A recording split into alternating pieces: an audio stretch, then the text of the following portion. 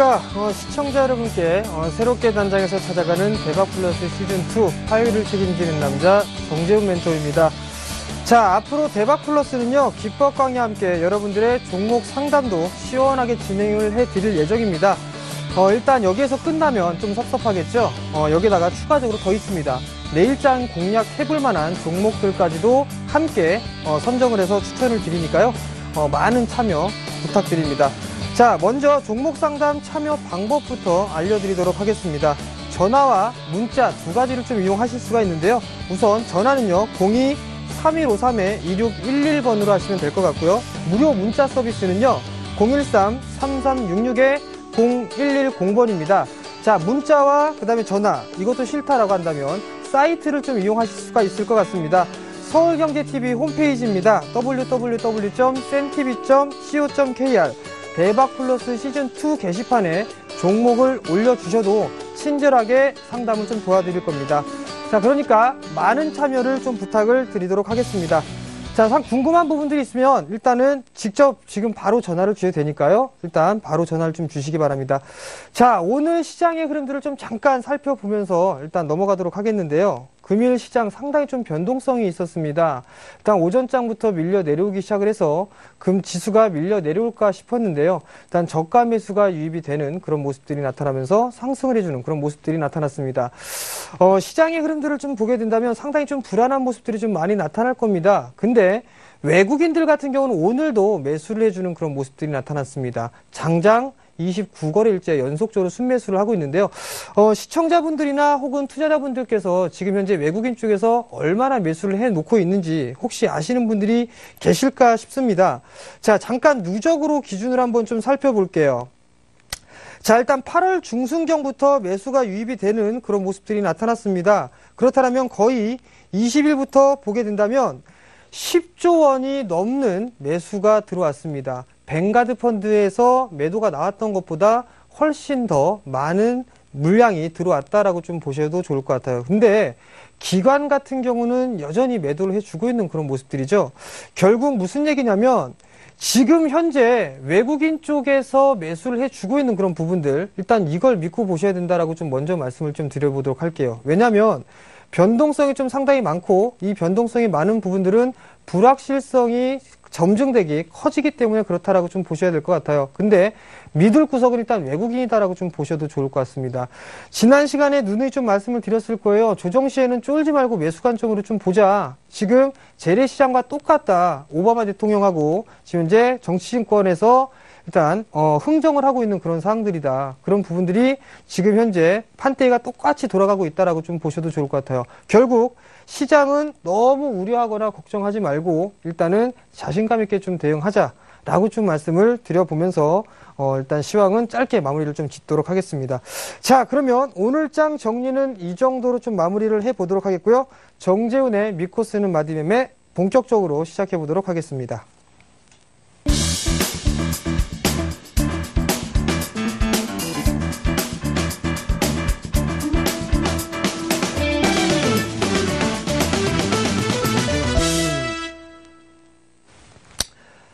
자, 어, 두 번째 시간입니다. 두 번째 시간인데요. 저는 오늘 참 상당히 좀 바쁘게 보냈습니다. 지금 시청자분들께서는 편안하게 좀 보내고 계시겠죠? 원고 쓰랴, 그리고 장 끝나고 난 이후에 기업 아이아를 좀 담당을 좀, 기업, 탐방을 좀 다녀왔었거든요. 이 서울경제 멘토들이 상당히 열심히 하고 있다라는 부분들을 다시 한번 좀 강조를 드리고 싶어요. 왜, 무슨 얘기냐면, 어, 투자자분들 같은 경우는 거의 이 주식 시장이 끝나게 되면 어느 정도 쉬거나 여가 생활들을 좀 많이 하실 겁니다. 근데 서울경제 샘플러스 멘토들은요, 장이 끝나기 무섭게 외출을 합니다. 어디를 가냐면 기업 탐방도 가고요. 그 다음에 자료 취수, 자료를 수집하기도 하고요. 여러 가지 활동들을 좀 많이 하고 있습니다. 그렇기 때문에 여러분들이 해야 될 부분들은 뭐냐면요. 생방송도 열심히 좀 들으시고, 그 다음에 샘플러스에 접속을 하셔서 상당 부분 좋은 정보들을 받아가시는 거. 그게 가장 여러분들이 하셔야 될 일이다라고 좀 말씀을 좀 드려보도록 할게요. 자, 쓰는 마디매매 기법 다시 한번 좀 시작해 보도록 하겠습니다. 이거 제가 끝날 때까지 계속 얘기할 거예요. 왜냐면 이해를 많이 못 하시는 부분들이 좀 계시고, 그 다음에, 아, 이거 조금 안다라고 좀 생각하시는 분들이 계시고 있습니다. 자, 볼게요. 상승과 하락의 기본 마디 수치는 일단은 가격적인 부분들입니다. 일단 매수와 매도를 설정을 할 수 있다라고 좀 보셔도 좋을 것 같습니다. 기본 마디에서 전고점 그리고 전저점에서는 수급을 파악한다라고 말씀을 드렸었죠. 여기서 봤을 때는 전고점 돌파 그리고 전고점 이탈 이 부분들은 어, 수급적인 부분들 거래량이 증가가 되느냐 되지 않느냐 이 부분들을 꼭 확인을 해야 된다. 그리고 세 번째 아주 중요한 거예요. 개인 투자자분들이 제일 많이 물리는 부분 쌍고점 즉 쌍봉이다라고 표현을 하죠. 이거는요 세 번째 마디에서 많이 나타납니다. 세 번째 마디에서 거래량이 좀 돌파가 되는 척 하다가 죽어버리는 경우들이 많거든요. 근데 거기에서는 신고가가 나왔다라고 해서 상당히 다 따라 붙는 그런 매매들을 좀 상당히 많이 하고 있어요. 그렇기 때문에 쌍고점 이 부분들을 매매에 유의해야 된다, 주의해야 된다라는 부분들 기억하시고요. 목표치가 도달했을 때 분할 매수 포인트, 분할 매도 포인트로 보는 게 당연한 부분들인데 여기에서 이 라인 때 목표치를 대량 거래량 돌파하면서 장대 양보로 뚫거나 아니면 갭을 동반하면서 넘어가게 넘어간 경우 그 가격대를 지지를 하는 흐름들이 나타나게 된다면 추가적인 상승이 가능합니다. 이 부분들은 어, 차트의 흐름들을 좀 살살 보면서 좀 말씀을 드릴 거예요. 그러니까 끝까지 한번 들어보시기 바랍니다. 자, 목표치 분석에서는 여러 가지 부분들이 있었죠. 일단 상승과 하락을 좀 반복을 하면서 일정한 패턴을 보이고 있어요.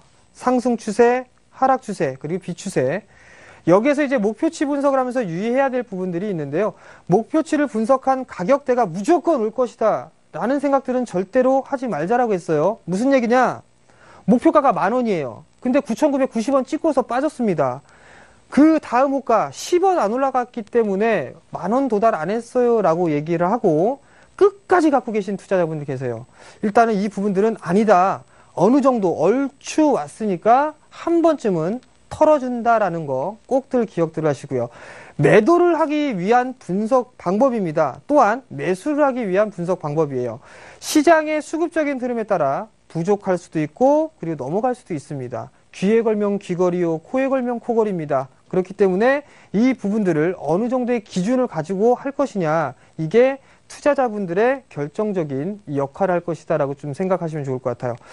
이 부분들은 또 하나의 지지 그리고 저항 이 역할을 한다라고 좀 보셔야 될 것 같아요. 무슨 얘기냐? 기술적인 차트의 흐름들을 보고서 대응을 하시는 분들이라면 아마도 여러 가지 방법들을 쓰실 거예요. 보조 지표를 활용하실 거고요. 그다음에 이동 평균선을 보시기도 하고요. 캔들을 보시는 경우들도 있을 겁니다. 근데 이 부분들 각 이동 평균선을 예를 들어 예를 들어 보게 된다면 이동 평균선이 각각의 지지 라인 혹은 저항 라인대를 형성을 한다라고 그렇게 배웠을 겁니다. 똑같이 이 현재 마디에 대한 가격대가 지지의 역할을 하고 또 저항의 역할을 한다라는 부분들이에요. 그 기준점을 제가 잡아드리기 위해서 계속 이런 방송을 하고 있다라는 부분들 꼭 기억해 주시기 바랍니다. 자, 목표치의 분석의 종류예요. 이 부분들 한번 보게 되면 엘리어트 파동, 즉 피보나치에 대한 비율을 이용하는 분석 방법이 있었죠. 여기에서 중요한 게 3825, 618 상당히 외우기 쉬울 겁니다. 자, 여기에서 뭐가 나올 수가 있냐면 알파벳을 이용한 분석 방법이 있을 겁니다. 이 값, n 값, v 값 요게 있는데 v 값은 빼자라 그랬죠. 거기서 거기에요. 그냥 이 n 값과 이 값만 기억을 하시면 된다라는 부분들이에요. 자, 여기에서 피보나치 비율하고 한번 접목을 해서 볼게요. 그게 무슨 얘기냐면 만약에 38.2%의 조정을 받을 때라면 어떻게 된다고 그랬는지 혹시 잘 한번 생각해 보세요. 기억 안 나실 겁니다. 왜? 복수 많았으니까. 상승을 했습니다. 그리고 난 이후에 조정을 받았어요. 38.2%의 조정을 받게 된다면 어떻게 된다고 그랬죠? 상승 N자형으로 그냥 바로 뻗어나갈 수 있다는 거 꼭 기억하시고요. 좀 더 밀렸어요. 50%의 조정을 받았습니다. 그렇다면 그냥 바로 N자로는 못 가요. 어떻게 되냐면 이중 바닥을 형성해주고 N자형으로 간다. 라고 말씀을 드렸을 거예요. 피부나치 조정 때 아무거나 차트를 좀 그려놓고서 한번 보시기 바랍니다. 이러한 어, 유형들이 상당히 좀 많다라고 어, 아마도 여러분들까지 생각을 하시고 인정을 하실 겁니다.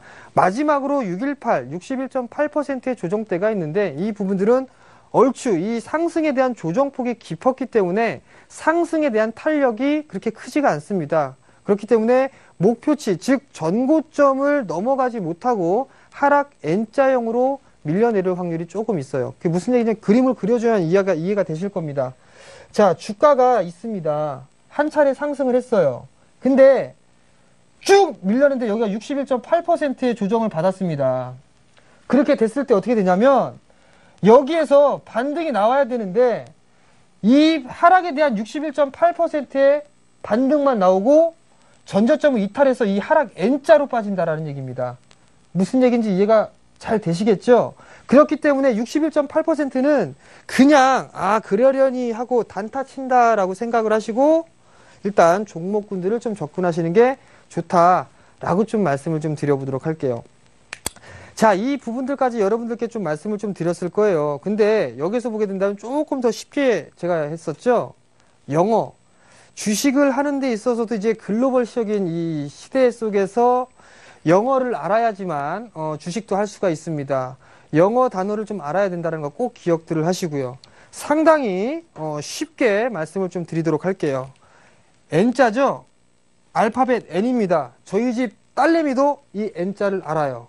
자, 저점을 기록하고 고점을 만들었습니다.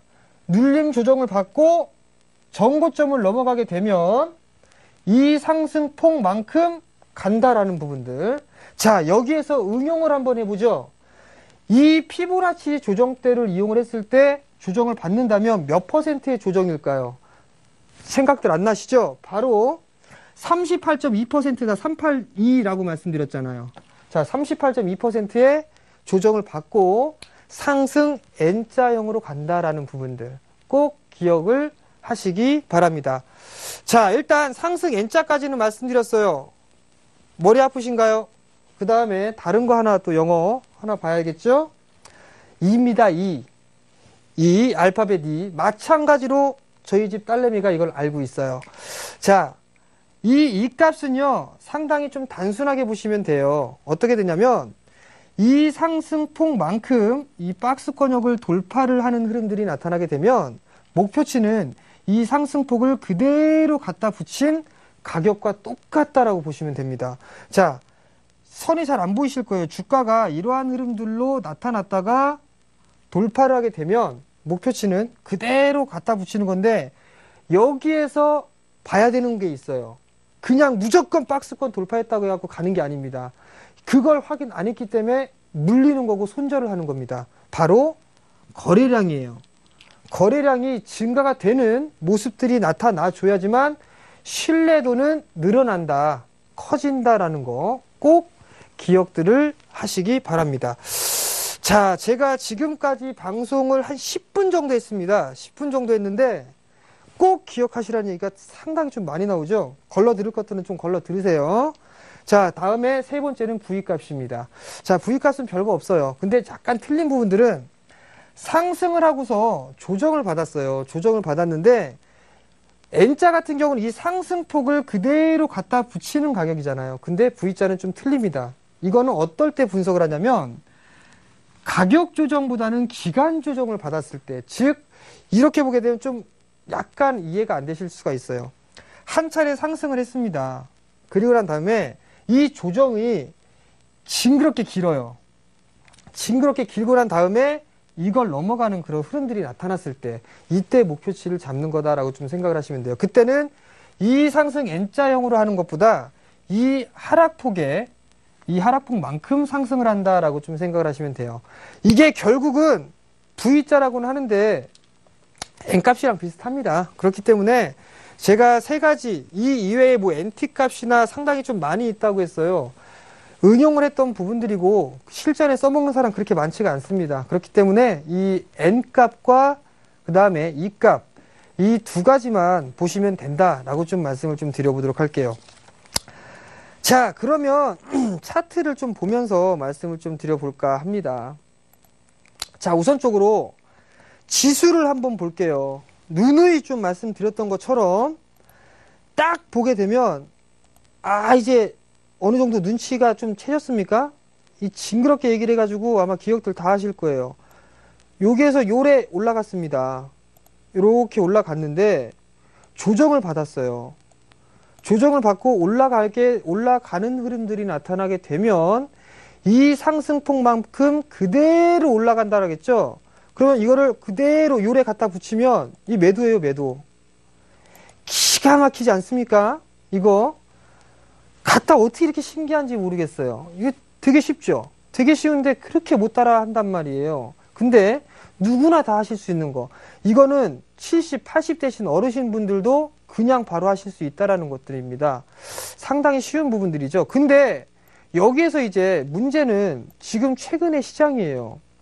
최근의 시장을 좀 보게 된다면 이거는 뭐 N값도 아니고 뭐라고 해야 될지는 모르겠어요. 근데 여기서 보시게 되면 고점이 고점이 이렇게 나온 부분들이 있지만 조정을 받고 한 차례 상승을 해주는 그런 흐름들이 나타나게 됐을 때 이 폭만큼 빠지는 흐름들이에요. 결국은 이게 폭이 얼마나 나오질 않았기 때문에 이 값으로 진행이 되는 경우들이 많아요. 자, 그러면 요거 한번 보자고요. 요 이 값대로 이렇게 n 값대로 빠졌는데 이 10월 4일 금요일 날 저점을 찍고 반등이 나왔단 말이에요. 그러면 오늘 거 한번 볼게요. 고점을 형성해 주고 나서 오늘 저점을 이탈을 했습니다. 고점 나왔죠? 그럼 요거 갖다 그냥 요래 갖다 붙이면 이게 잘 안 붙네요. 짧으니까. 근데 요걸 그대로 갖다 붙이게 되면 바로 오늘 저점이 나옵니다. 참 신기해요. 근데 어 여기 잡혔네요. 아, 안 잡혔네요. 다시 한번 해보도록 할게요. 고점이 나왔고요. 저점이 나왔었죠. 그거를 그대로 갖다가 이렇게 붙이면 나온 아니 여기가 아니죠. 여기죠. 요거 저점에 붙이면 바로 갖다 나온다라는 거. 그 분들 좀 기억들을 하시고요. 여기서 또 한 가지가 또 있어요. 그 다음에 선물입니다. 선물은 지수하고 좀 틀립니다. 제가 왜 선물을 좀 보여드리려면 지수하고 똑같아요. 저점이 나왔습니다. 그리고 고점이 나왔습니다. 조정을 받았죠. 근데 여기서 봐야 될 부분들은요. 이 폭만큼 그대로 갖다 붙여봤더니 정재훈이 얘기한 것처럼 똑같이 사기를 쳤다라는 부분들이에요. 무슨 얘기냐? 네가 여기에서 매도를 해야 된다라고 했는데 넘어갔거든요. 넘어가는 흐름들이 나타났다. 그러면 어떻게 해야 될까요? 제 조건을 말씀드렸었죠. 마디에 대한 목표치가 도달을 했는데 거래량이 증가가 되면서 장대 양봉으로 넘어가는 모습들이 나타났어요. 근데 그 자리가 지지를 지지를 해주는 그런 모습들이 나타나게 된다면 뭐라 그랬죠? 추가적인 상승이 가능하다라는 부분들이에요. 그럼 결국 무슨 얘기냐면 이 자리 때예요. 259포인트 대 선물 지수로 259포인트 대가 이탈되는 흐름이 나오게 되면 시장 본격적으로 조정받는다라고 생각하시면 되겠습니다. 긴가 아닌가는 지나보면 알 겁니다. 그러니까 큰 북에 지금 현재 시장의 흐름들은 리스크 관리를 할 때가 아니다라는 부분들이에요. 그러니까 이 부분들 꼭 기억들 하시고요. 종목군들로 한번 넘어가 볼게요. 어, 어떤 종목을 한번 해볼까요? 지금 제가 어, 샘플러스에서 무지하게 말씀을 많이 드렸던 한일 이화를 한번 말씀을 좀 드려볼게요. 무지하게 올라왔습니다. 무지하게 올라왔는데 이게 어떻게까지 이만큼 올라갔는지 모르신단 말이에요. 그냥 여기 저점 있죠? 이렇게 체크하십시오. 그리고 고점 여기 있었죠? 그리고 난 이후에 이만큼 상승을 했어요. 그리고 나서 조정을 받았죠. 조정을 받고 난 이후에 이거 갖다 붙이니까 목표가는 얼마다? 2만 얼마다. 딱 보면 매도죠. 기가 막혀요, 기가. 이거 이렇게 쉬운 이 주식, 주식 이렇게 하는 겁니다. 이렇게. 자, 이렇게 보시면 될 것 같습니다. 상당히 오늘은 조금 쉽게 좀 말씀을 좀 드렸을 거예요. 일단 이 정도까지만 좀 진행을 하면 좀 되지 않을까라는 좀 생각을 합니다. 뿐만 아니라, 어, 더 이상 뭐, 완벽한 이런 기법 강의는 없다라고 좀 생각을 하고 있어요. 사실 이게 기법 강의는 아닙니다. 스킬이에요. 노하우고, 그리고 가장 여러분들이 알고 있고 써먹기에 편안한 기본적인 방법입니다. 기본적인 영어로 베이직이죠. basic. 예. 그렇기 때문에 꼭 이 부분들을 기억들을 좀 하시기 바랍니다. 자, 지금까지 믿고 쓰는 마디매매 기법의 정재훈이었었고요. 내일장 공략주는 바로 조금 뒤에 종목 상담 이후에 말씀을 좀 드리도록 하겠습니다.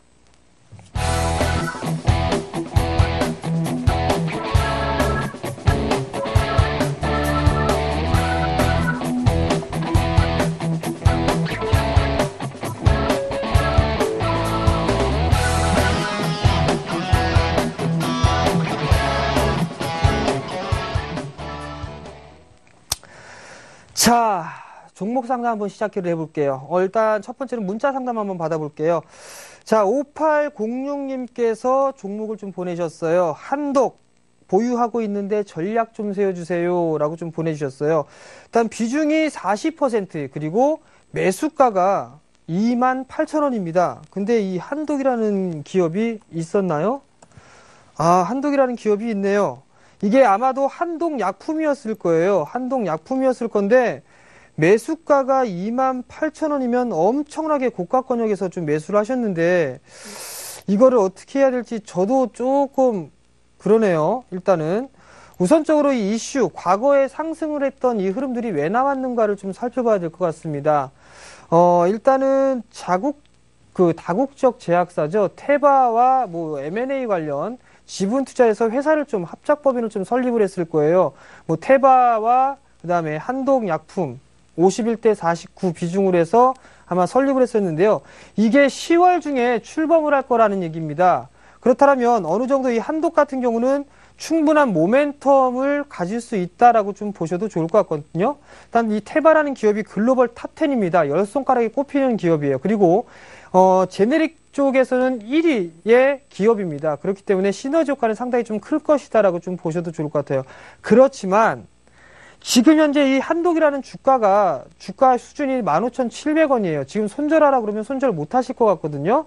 그렇다면 일단은 어느 정도 좀 보셔야 될 것 같아요. 일단 기술적인 흐름들을 좀 볼게요.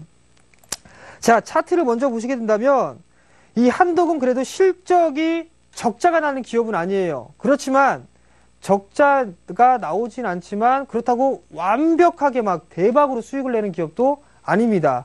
일단 기본적인 거는 베이스는 깔고 가야 된다라는 거.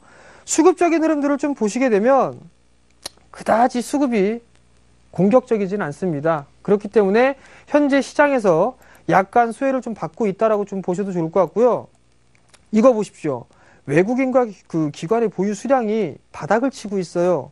사지를 않는다라고 좀 보셔도 좋을 것 같거든요. 그렇기 때문에 일단 수급이 좀 개선이 될 때까지는 좀 봐야 된다. 근데 이 부분들은 합작법인 10월 중에 출범을 하고 난 이후 그 부분들을 좀 살펴봐야 된다라고 좀 보셔야 될 것 같아요. 자, 기술적인 흐름들을 좀 보게 된다면 저점이 13,500원을 찍고 한 차례 요래 상승을 했어요. 이 상승을 했던 게 약 18,000원 정도 때까지 상승을 했거든요. 얼핏 보게 되면 요거 박스권역으로 좀 보일 수가 있을 것 같습니다. 윗꼬리를 달고 계속 밀려 내려왔으니까. 근데 여기에서 보게 된다면 지지 라인들을 보여주고 그리고 난 다음에 불쑥불쑥 튀어나온 이 거래량들이 있어요. 이거를 소위 말해서 매집성 거래량이다라고 얘기를 하거든요. 그 부분들이 있기 때문에 좀 더 여유 있게 보자라고 좀 말씀을 좀 드려보도록 하겠고요. 목표가는 요거 요로에 갖다 붙이면 18,850원이 나오네요. 이 자리대를 일단 목표치로 삼는 겁니다. 그러면 자 아무리 뛰어난 전문가가 나와서 기술적 분석을 해도 이 정도는 목표가를 좀 선정을 해드릴 겁니다. 왜냐하면 이 자리대가 최근에 과거에 이탈돼 있던 저점 권역이에요. 마디매매랑 똑같죠. 다른 분들은 상당히 어렵게 얘기하는데 저는 되게 쉽게 얘기한단 말이에요. 이걸 여러분들도 하실 수 있다라는 얘기입니다. 그렇기 때문에 이 18,000원대 후반권역을 목표가로 좀 삼으시는 게 좋을 것 같다라고 좀 말씀을 좀 드려보도록 하겠고요. 추가 매수는 비중이 40%니까 반대입니다. 반대하고요. 일단 목표가는 이 정도라고 손절가는 일단 15,000원 정도를 기준으로 해서 보시는 게 좋을 것 같아요. 즉 15,000원이 이탈되는 흐름들이 종가상 나타나게 된다면 아마도 이 전저점까지도 다시 한번 위협을 해주는 그런 모습들이 나타날 것이다라고 예상을 한번 해볼 수가 있을 거 있을 것 같기 때문에 일단은 이 부분들 어, 리스크 관리를 하자라고 좀 말씀을 좀 드려보도록 하겠습니다. 자, 문자 상담은 여기서 좀 마무리를 짓고요. 전화 상담 한번 받아보겠습니다. 자, 지금 전화 한번 받아볼게요. 여보세요? 네, 여보세요? 예, 안녕하세요. 네, 안녕하세요. 감사합니다. 네, 어디 사는 누구십니까? 아, 여기 강동구에 산, 사는 여기 은비야 할머니라고 해요. 아, 예. 어떤 종목이 궁금해서 전화를 주셨나요? 아니 상보를 저기 네. 뭐야 그 휘어지는 디스플레이 관련된 거라고 샀는데 그 한 달 전인가 어느 날인가 그 무슨 악재가 나와가지고 주가가 못 올라가는데 SNU 살라다가 놓쳐가지고 좀 아, 이걸 좀 사봤는데 흐름이 네. 좀 불안해가지고 음. 엊그제 예, 샀거든요. 우선 매수가하고 비중을 좀 말씀해 주시겠어요? 아 매수가는 13,700원이고요. 네, 비중은요? 15%예요. 아, 15%요? 네. 시청자님 보니까 상당히 이 주식을 좀 많이 하신 것 같아요. 아, 아니요. 아, 그렇진 않으세요? 네, 아니 하기로 했는데 이제 제가 좀 차트를 볼 줄 모르니까. 네네. 어, 일단, 일단 내가 팬인데 이 방법을 어, 가져보더라고요. 일단은 최근에 이슈를 한번 좀 볼게요. 네네. 삼성 쪽에서 flexible 디스플레이를 출시할 것이다 이런 얘기가 있었죠. 예, 예. 거기서 맞불을 놓고 LG도 한 방 딱 쏴붙였어요. 네네. 뭐가 있죠? LG도 flexible 디스플레이 할 거다라는 얘기를 했었단 말이에요. 그죠? 네. 근데 상보 같은 경우도 마찬가지예요. 일단 flexible 네. 디스플레이 관련해서 어느 정도 이슈와 모멘텀을 가지고 있고 제가 생각했을 때도 테마의 흐름들은 탈 수 있다라고 좀 생각을 하고 있어요. 네. 근데 이제 삼성 쪽하고 상보하고 상당히 긴밀하게 좀 협력 관계를 유지를 하고 있는 것으로 알고 있거든요. 네. 다만 이제 지금 현재 상승을 못 하고 있는 부분들은 바닥을 다지고 있다라고 좀 생각을 하시는 게 좋을 것 같아요. 네. 자, 일단은 제가 차트는 기술적 분석을 좀 해드릴 테니까 전화기 끊고 한번 들어보도록 하세요. 아니요, 제가요. 네네. 그 미들 플러스 4.3동원 사가지고 좀 많이 물려 있거든요. 아, 자, 이거는요. 아니 잠깐 네네. 어느 타임에 저 손절을 하고 저기 저기만 잡아주세요. 리- 손해보고 한번 나올 거니까. 종목이 어떤 거라고요? 미들 플렉스. 미디어 플렉스요. 예, 손절치고 나올 거니까는 4,300원에 매수인데 네. 이 중간에 어느 시점에 한번 팔고 나 다시 또 잡을 예산이니까 그것만 좀 가르쳐 주시라고. 네, 이것도 제가 같이 그럼 예. 상담을 해드릴 테니까요. 예, 예, 전화 감사합니다. 끊고 한번 들어보세요. 예. 네. 자, 시청자님께서 종목에 대해 관심이 좀 상당히 많으신 것 같아요. 자, 기술적 흐름 한번 볼게요. 우선 상보입니다. 외국인이 입질하고 있어요. 간 보고 있다라고 좀 생각을 하시면 좋을 것 같아요. 쭉 매수했다가 찔끔 매도하고 다시 또 매수했다가 매도하고 다시 또 매수가 들어왔어요. 아마도 flexible 디스플레이 관련되어 있는 테마는 형성이 될 수 있다라고 좀 보셔도 좋을 것 같아요. 자, 그러면 우선적으로 13,700원 정도니까 거의 매수가 부분이세요. 근데 기술적인 흐름을 보게 된다면 우선적으로 지금 강의에서도 말씀을 드렸을 거예요. 이거 이 값이죠. 이 값으로 진행이 되는 모습들이 나타나고 있다라고 좀 보셔도 좋을 것 같아요. 그러면 이 자리대를 돌파하는 흐름들이 나타나게 된다면 이 값으로 상승을 하죠. 그렇게 되면 약 15,000원대 초반권역까지 일단 전고점권역일 거예요. 이 정도까지는 상승을 할 수 있다. 즉 15,200원 정도, 300원 정도 이 정도를 1차 목표가를 일단 잡자라고 좀 먼저 말씀을 드릴게요. 그 다음에 2차 목표가는 요 상승폭 되겠죠? 요래, 요래 갑니다. 이렇게 할까 2차는 17,000원 정도 될 거예요. 그러면 15,000원대 초반 되시면 시청자님께서는 다시 전화를 하셔가지고 물어보시면 아주 그냥 친절하게 좀 상담을 해드릴게요. 자, 그 다음에 손절 라인도 좀 중요하겠죠? 손절 라인은 박스 권역이 이탈되는 자리대예요. 약 12,500원 정도가 이탈되는 흐름들이 나오게 된다면 자, 리스크 관리를 한번 하자라고 좀 말씀을 드릴게요. 이 이값으로 빠져버리게 된다면 자칫하면 이렇게 빠질 수가 있거든요. 그렇게 되면 다시 한번 이 전 저점 테스트를 하겠죠. 그죠? 똑같네요. 그러니까 이 자리대를 리스크 관리 자리대, 즉 12,500원짜리를 리스크 관리 좀 하자라고 보시면 좋을 것 같습니다. 자, 그 다음에 미디어 플렉스 자- 짧게 한번 볼게요. 자, 미디어 플렉스 같은 경우는 최근에 어, 가격 조정과 기간 조정을 같이 들어오고 있는 거예요. 자, 우선 한번 볼게요. 큰 폭의 상승을 했어요. 근데 이 녀석이 고점을 형성해 주고 난 이후에 밀려내렸습니다. 반등이 나왔었죠? 반등이 나오게 되면 몇 퍼센트 반등 나오는지 아마도 방송 다시 보기를 보면 나올 겁니다. 약 절, 보통 50% 조정이 나와요. 이렇게 하락 N자형으로 빠지거든요. 그러면 지금 자리대가 얼추 빠져버린 겁니다. 중기에 대한 하락 목표치까지는 내려왔어요. 근데 만약에 이 자리대가 이탈되게 되는 흐름들이 나타나게 된다면 이렇게 밀릴 수도 있습니다. 그렇다면 3,000원 부근, 약 2,800원, 2,900원 자리까지 밀릴 수 있다라고 좀 보셔도 좋을 것 같거든요. 우선적으로 반등 시도는 좀 나올 수 있다라고 좀 보셔도 좋을 것 같아요. 다만 이 자리대 지금 현재 2,900원짜리를 손절 라인으로 잡는다면 리스크가 너무 큽니다. 그렇기 때문에 우선적으로 손절 라인은 좀 짧게 잡아 드릴게요. 최근에 형성되어 있는 저점이죠. 3,400원이 이탈되는 흐름들이 나오게 되면 일단 리스크 관리를 하자라고 좀 말씀드려보도록 하겠고요.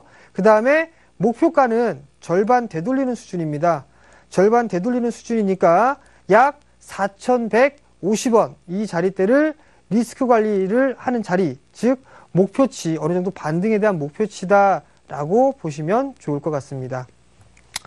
자 이렇게 어, 상담 전화 한번 받아봤었고요. 다음은 문자 종목 한번 좀 보도록 하겠습니다. 자 현대제철입니다. 현대제철인데요. 매수가가 82,100원에 비중 10%를 매수를 하셨습니다. 어, 일단은 이 현대제철 어, 다른 섹터에 비해서 철강 섹터가 그렇게 큰 폭으로 좀 상승을 해주는 모습들은 아니었었어요. 근데 어, 제가 말씀을 드리자면 포스코보다는 현대제철이 낫다라고 좀 생각을 하고 있습니다. 왜냐하면 하락 추세대를 좀 뚫어 놓고 있는 그런 모습들이에요. 차트를 보시게 되면 하락 추세대를 좀 뚫어놨죠. 그리고 나서 충분히 좀 상승을 해주는 모습들이 좀 나타났습니다. 어느 정도 어, 쉬어가는 흐름들이 나타나고 있고 그런 나타나는 흐름들 속에서 가격 조정보다는 기간 조정을 선택을 하고 있다라고 좀 보셔도 좋을 것 같은데요. 이것도 한번 보자고요. 주가가 6만 원의 저점을 형성을 해주고 난 다음에 상승을 했어요. 그리고 나서 조정을 받았죠. 그리고 저점을 다지고 고점을 거래량을 동반을 하면서 넘어갔습니다. 그러면 이 상승폭 그대로 갖다 붙이면 이게 목표가죠. 요래 이 자리대가 목표치란 말이에요. 즉, 한 8만 4천 원 정도가 목표치라는 얘기죠. 이 목표치를 도달을 했으니 쉬어가는 흐름들이 나타날 것이고, 지금 현재는 박스권역으로 현재 진행되고 있다라고 좀 보셔도 좋을 것 같아요. 여기에서는 일단 두 가지를 좀 보셔야 될 것 같습니다. 우선적으로 매수가 부분, 매수가가 82,100원 정도면 거의 매수가 부분이세요. 1차적으로 일단은 정고점을 넘어가는, 즉, 84,000원을 돌파를 하는가를 좀 먼저 보셔야 될 것 같습니다.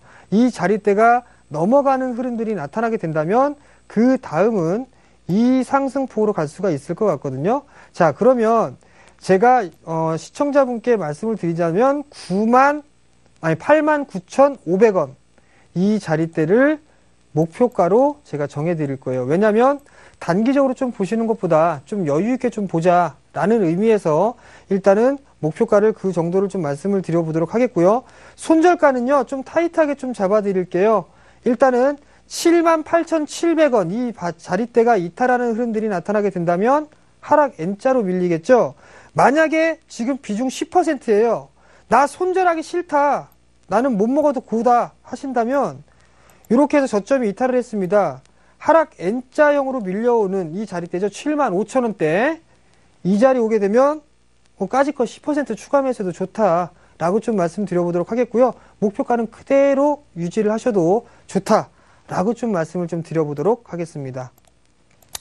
자, 다음엔 전화 상담 한번 받아보겠습니다. 전화 받아볼게요. 여보세요? 네, 여보세요. 네, 안녕하세요. 네, 안녕하세요. 예, 목소리에 너무 힘이 없으세요. 네, 크게 얘기할게요. 네, 어, 어떤 종목이 궁금해서 전화 주셨나요? 네, 성우 하이텍이요. 성우 하이텍이요? 네. 매수가하고 비중 좀 말씀해 주시겠어요? 네, 15,000원에 50%예요. 15,000원에 50%요? 네. 어, 비중 세게 실으셨는데요? 네. 어떤 게 제일 궁금하세요? 아, 그때 16,000원까지 갔는데 제가 못 팔았거든요. 욕심을 내가지고. 에 욕심 아니에요. 에, 일단 욕심 아닙니다. 아, 어디에서 그래서- 팔지 제일 궁금하시죠?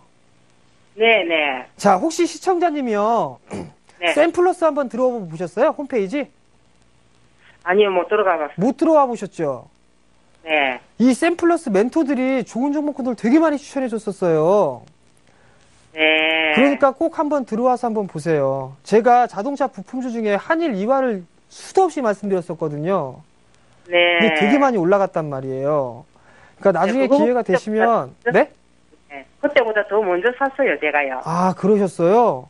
네. 그러셨구나. 일단 나중에 좀 기회가 되면 꼭 한번 네. 들어와 보세요.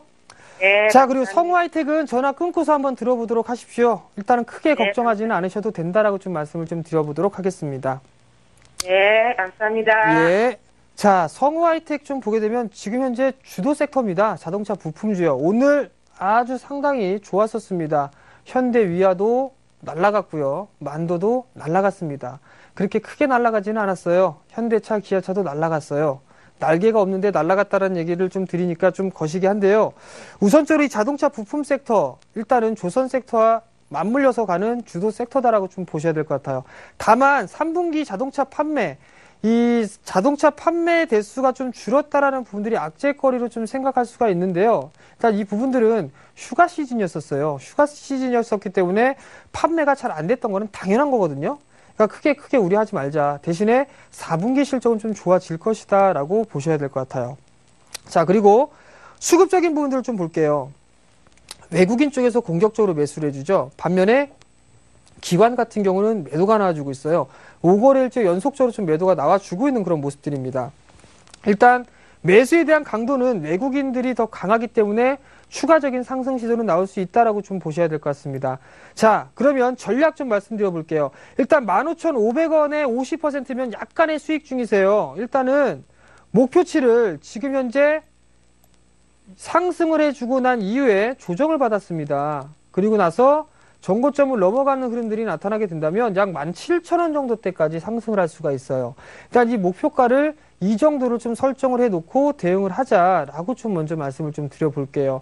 일단 어느 정도 이 많이 못 올랐기 때문에 여유 있게 좀 상승을 할 수 있다라는 부분들 좀 시간값을 두고 시장에 휘둘리지 말고 좀 여유 있게 좀 보자라고 좀 말씀을 좀 드려보도록 하겠고요. 그래서 일단 목표가는 17,000원 정도를 좀 보자. 그리고 손절가는 14,000 한 500원 정도를 좀 생각하시면 될 것 같아요. 그렇게 된다면 추세가 이탈되는 흐름들이 전개가 된다. 그렇다면 추가적으로 밀려 내려올 수가 있으니 일단 이 자리대를 이탈하는 흐름들이 나타나게 되면 어느 정도 리스크 관리를 하자라고 좀 말씀을 좀 드려볼게요. 자, 일단 여기까지 종목 상담을 좀 해드렸어요. 일단은 제가 기법 강의, 기법 강의를 해드렸던 그런 부분들 일단은 다시 한번 접목시켜서 좀 해드리니까 어, 일단은 여러 가지 것들을 한번 확인을 해보시기 바랍니다. 검색창에 샘플러스를 입력하시고 전문가 방송에 접속하시면 서울경제TV 특급 전문가들이 여러분의 포트폴리오와 수익률을 책임집니다. 주식 투자 샘플러스와 함께 하십시오. 자, 종목 AS를 좀 진행하도록 하겠습니다. 제가 지난 시간에 두 종목을 좀 말씀을 드렸을 거예요. 우선 한 종목이 ENF 테크놀로지, ENF, 아, 이름 기네요. ENF 테크놀로지였었죠. 주가의 흐름들이 밀려내렸습니다. 어느 정도 추가적인 상승 시도가 좀 나오지 않겠느냐라고 예상을 했는데, 이 웬걸 박스권적으로 좀 진행되는 모습들이 나타나고 있습니다. 일단 제가 매수가 부분들을 아마도 1,350원부터 만원 부분까지 분할 매수 포인트 좀 잡아드렸을 거예요. 근데 지금 이제 만 원이 깨져버리는 그런 모습들이 나타났습니다. 일단 2차전지 관련 섹터로 순환매가 좀 나타날 수 있을 것이다라고 예상을 했었는데 테슬라 모터스 자동차 불이 났어요. 그 부분들 때문에 밀려 내려왔다라고 좀 보셔도 좋을 것 같습니다. 일단 수급적인 흐름들 이제 입질 정도는 진행을 하고 있는 그런 모습들이기 때문에 일단 손절가를 제가 9,600원을 좀 제시를 해드렸는데요. 아직까지 이탈되는 흐름들은 아닙니다. 조금 더 여유 있게 보게 된다면 일단 박스 상단권역 일단 1차적으로 1,600원 정도까지는 상승할 수 있으니까 일단 보유 관점 유지하자라고 좀 말씀을 좀 드리도록 하겠습니다. 자, 두 번째 종목입니다. 두 번째 종목은 두산 엔진을 좀 말씀을 좀 드렸을 거예요. 두산 엔진 9,750원 권역에 좀 매수를 해주는 매수가 되게 있는 상황들 약간의 좀 수익 권역입니다. 일단 조선주가 잘 나가게 되면 두산 엔진도 잘 나갈 수밖에 없습니다. 왜냐하면 엔진을 만드니까요. 말이 필요 없습니다. 그냥 홀딩 관점 유지하자라고 좀 말씀을 좀 드려보도록 하겠고요. 수급 괜찮습니다. 어, 이 거래일 외국인들 매도가 나왔는데요. 이 거래일 반대로 기관 쪽에 매수가 들어와 주는 그런 모습들이 나타나고 있으니까 크게 문제가 없다라고 좀 말씀을 드려보도록 하겠습니다. 자, 종목 AS는 여기까지 마무리를 하고요. 여기서 끝내면은 좀 아쉽단 말이죠. 어, 내 일장에 볼만한 종목을 어, 좀 말씀을 좀 드려보도록 하겠습니다. 자, 대형주는 상당히 좀 많이 올랐기 때문에 어느 정도 좀 small cap 종목군들 위주로 좀 보고 있다라고 일단 말씀을 좀 드리고 싶어요. 여전히 어, 어, 대형 섹터보다는 좀 small cap 종목군들을 좀 보는 이유가 여러 가지 좀 이유들이 있거든요. 근데 그 중에서 일단 코스닥 시장에서도 어느 정도 바람은 좀 불 수 있다라고 좀 생각을 하고 있어요. 근데 생각해보니까 내일이 한글날이죠. 쉬는 날입니다. 내일은 쉬시고 내일 모레 어, 공략을 해보시기 바랍니다. 자, 화면을 좀 잠깐 보시죠. 뜬금없이 그림을 그려놨습니다. TV가 있고요. PC가 있고요. 스마트폰이 있어요. 근데 잘 한번 생각들 해 보시기 바랍니다. TV를 가까이에서 안, 보, 안 보죠? 멀리에서부터 봤었어요. 근데 그 이후에 PC로 넘어가면서 조금 가까워졌었죠. 그리고 그 다음 스마트폰으로 넘어갔을 때는 이렇게 하고 스마트폰을 안 본단 말이에요. 제가 무슨 얘기하는 걸까요? 눈에 대한 피로도 부분들을 생각을 해볼 필요성이 있다라는 부분들이에요. 일단은 시대가 변하면서 눈에 대한 피로도는 점차적으로 증가가 되고 있다라는 부분들이에요. 자, 이걸 보시게 된다면 매체별 이용 시간을 한번 보시기 바랍니다. TV 같은 경우는 평균 200분이 넘어가는 모습들이 나타나고 있고요.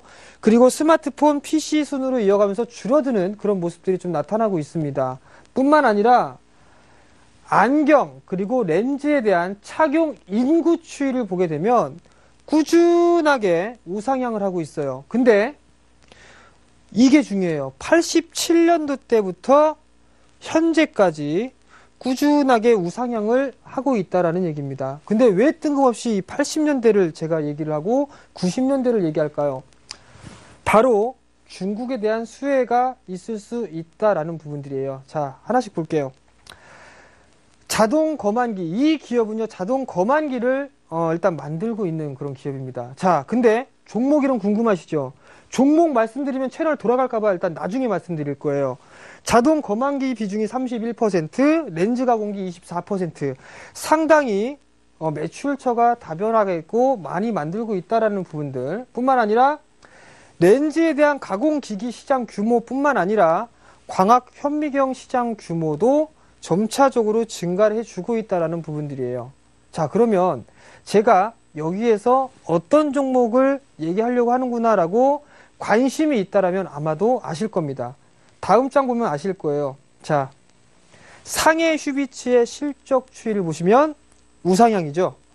영업이익률이 20%를 꾸준하게 넘어가는 그런 기업이다. 자회사를 두고 있다. 즉, 제가 여러분들께 말씀드릴 종목은 슈비츠라는 기업이에요. 어, 왜 슈비츠라는 기업을 가지고 왔냐면은요. 제가 과거에 중국 수혜줍니다. 라고 해서 1,800원대 리온 쿠첸을 겁나게 말씀드렸어요. 그게 지금 얼마가 있는지 모르겠습니다. 8,000원 넘어갔을 겁니다. 그런 모습들처럼 이 슈비츠도 중국에 대한 성장 기대감이 크다라고 좀 말씀을 드려보고 싶어요. 왜냐하면 우리 집, 현재 현재 서울, 동네 한번 생각해 보세요. 어느 정도 몇 걸음 가게 되면 안경점 하나씩 있을 겁니다. 근데 중국은 워낙 땅덩이가 넓고 인구가 워낙 많기 때문에 아직까지 보급이 안 돼 있는 그런 상황들이에요. 일단 신흥국 쪽에 상해 그 슈비치 같은 경우는 신흥국 쪽에는 중저가 브랜드 기기들을 납품을 하고 있고 선진 시장에는 고급형 브랜드를 납품을 하고 있습니다. 그렇게 되면서 어느 정도 이 키높이를 좀 맞춰가면서 성장을 하고 있다라고 좀 보셔도 좋을 것 같거든요. 그런 의미로 봤을 때 이 상해 슈비츠 뿐만 아니라 지금 현재 슈비츠라는 이 기업 유심히 좀 봐야 된다라고 좀 말씀을 좀 드려보도록 할게요. 상당히 강소 기업이다라고 좀 생각을 하셔도 좋을 것 같고요. 이 슈비츠가 아마도 상장을 한 이후 지금까지 적자를 한 번도 내지 않은 기업이다. 상당히 알짜 기업이다라고 좀 생각하시면 좋을 것 같습니다. 자, 일단 수급적인 모습들을 한번 보면서 말씀을 좀 드려보도록 하겠습니다. 어, 9월 중하순까지만 해도 상당히 많은 매도 물량이 나왔어요. 어디에서? 기관 쪽에서 매도 물량이 좀 많이 나왔습니다. 근데 이제 매수로 슬슬 전환되는 모습도 나타나고 외국인 쪽에서 매수를 해주고 있다. 괜찮다라고 좀 보셔도 좋을 것 같아요. 자, 어, 기술적인 흐름들을 좀 보게 된다면 박스권역의 모습들이 좀 진행이 되고 있다라고 좀 보셔도 좋을 것 같습니다. 거래량이 상승을 하면서 거래량이 좀 증가가 되고 있는 모습들이 나타나죠. 아, 좋다라고 좀 생각을 하시면 좋을 것 같아요. 그러니까 내일 쉬고 월요일, 목요일 날 조정 시 매수한다라고 좀 생각하시면 좋습니다. 자, 가격적인 전략 말씀드릴게요. 매수가는요, 오늘 종가가 얼마냐? 2750원에 끝이 났습니다. 매수는 2만 500원부터 2만 원까지 매수 포인트로 잡도록 하겠고요. 목표가는 2만 3천 원을 제시를 해 드리고요. 손절가는 1만 9천 원을 제시를 해 드리도록 하겠습니다. 여기에서 좀 물어보시는 분들이 계세요. 왜 2만 3천 원이냐? 공부도 하십시오. 일단 제가 다음 시간에 나와서 왜 2만 3천 원인가 그 부분들을 말씀을 드릴게요. 여기서 다 얘기를 하게 되면 공부들 안 하시더라고요. 그래서 이건 숙제로 남겨놓도록 하겠습니다. 자, 그 다음에 지난주에 제가 종목 드렸던 거 있죠? 두산 엔진. 그것도 다음 주에 매수 포인트 잡으셔도 된다. 라고 좀 말씀을 드리면서 마무리를 지을까 했는데요. 짧게 짚어드리도록 하겠습니다. 자, 두산 엔진 보시게 된다면 짧게 드릴게요. 이렇게 상승을 했습니다. 그리고 나서 저점 찍었죠? 저점 찍고 나고 난 이후에 이래 올라갔단 말이에요. 근데, 어, 이 자리를 지지하고 있어요. 그러면, 요거 이탈 안 하면 더 갑니다. 어떻게? 요 박스 마냥 가거나 아니면 이 N자만큼 가거나. 그죠? 그리고 상승할 때도 거래량이 동반되고 있다는 거 괜찮다라고 보시면 좋을 것 같습니다. 차트 참 좋아 보이죠? 목요일 날 관심 있게 좀 보시기 바랍니다. 자, 오늘 어, 대박 플러스는 여기까지를 좀 준비를 했습니다. 자, 앞으로 월요일부터 금요일까지 어, 일단 서울경제 TV 어, 멘토들이 일단은 좋은 기법 강의 그리고 종목들을 어, 마구마구 쏟아내고 있습니다. 그러니까 많은 참여 부탁드리고요. 많은 관심 부탁드리도록 하겠습니다. 자, 그리고 지금 8시에 이 프로그램이 8시에 끝나죠. 1시간 뒤에 9시에 뭐가 하죠? 주식 충천을 진행을 하죠. 거기에 또 대박 종목군들이 좀 많이 나온다고 해요. 그러니까 잠깐 쉬시고 차 한 잔씩 좀 하셨다가 좀 쉬셨다가 어, 9시에 주식 승천 꼭 시청하시고 좋은 정보를 받아가시기 바랍니다. 자, 지금까지 대박 플러스 정재훈이었습니다. 감사합니다.